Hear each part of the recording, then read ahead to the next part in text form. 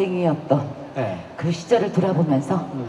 자 풍각쟁이였던 삶이 어느새 거대한 원을 이뤄서 네. 여러분들과 함께 어깨를 나란히 하고 각을 맞추고 이렇게 고고장구까지 하게 되고 사단법인 한국고고장구진흥원이 탄생하게 되는 과정을 어, 여러분들께 조금이나마 보여드리려고 했습니다. 아, 그렇군요. 그런 또 예, 깊은 뜻이 있었네요. 네네.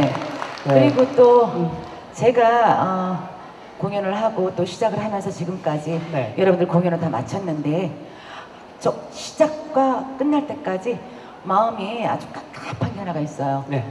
가장 큰 거. 오늘 여러분들 소홀하지 않았나? 서운하지 않았나? 예, 예, 그렇죠. 화가 나서 돌아가지 않을까? 예. 오로지 몇 날 며칠 노심초사한 것이 바로 그것입니다. 예. 자, 예, 뭐든지 첫 해는 시행착오니까 여러분들이 조금 너그럽게 미흡하고 부족하더라도 너그럽게 봐주시면 대단히 감사드립니다. 맞습니다.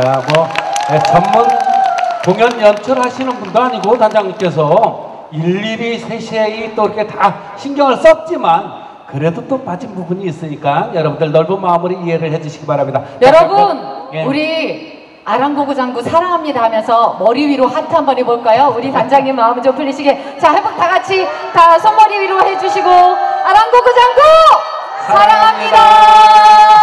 그래요.